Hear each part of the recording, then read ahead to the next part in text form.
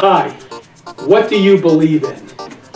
I believe in God, the Father Almighty, creator of heaven and earth, and in Jesus Christ, his only Son, our Lord, who was conceived by the Holy Spirit, born of the Virgin Mary, suffered under Pontius Pilate, was crucified, died, and was buried. On the third day, he rose again. He ascended into heaven, and he sits at the right hand of God, the Father Almighty. From thence he shall come to judge the living and the dead, and his kingdom will have no end.